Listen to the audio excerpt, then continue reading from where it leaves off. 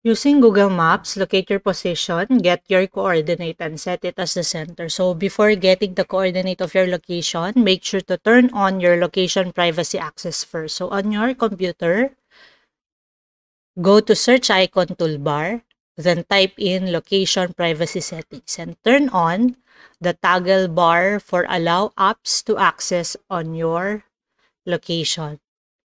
Now open Google browser and type in maps google.com or you may click this link and it will direct you to Google Maps. So on the lower left corner,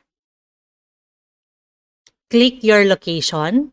This is your location to mark your location on the map. Now point your cursor on the blue dot then right click, it will reveal your coordinate and then copy the coordinate of your location on the map.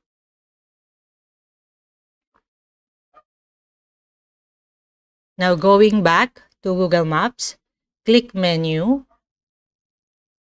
then click your places, and on your places, choose maps, then create maps, The browser will lead you to your map. Click on titled map and start naming your own map.